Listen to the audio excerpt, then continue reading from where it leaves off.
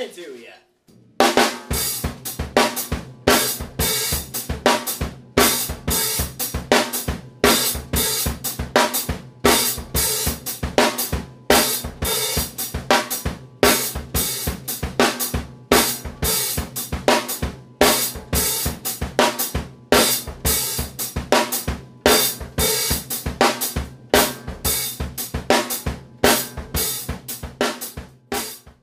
How to prepare for Christmas. Deck the halls with boughs of holly. Here's a branch that I cut last night. See the blazing Yule before us. This little bit from our wood pile.